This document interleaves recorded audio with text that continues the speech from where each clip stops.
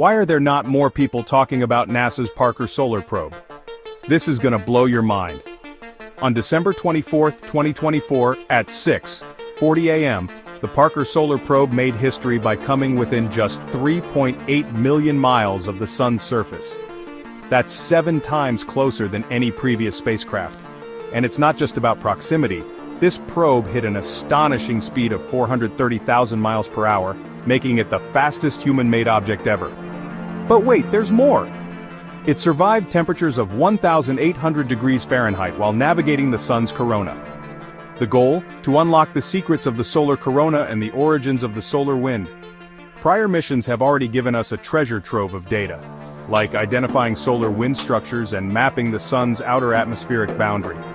And the mission isn't over yet. With two more close passes planned for 2025, we're just scratching the surface of what we can learn.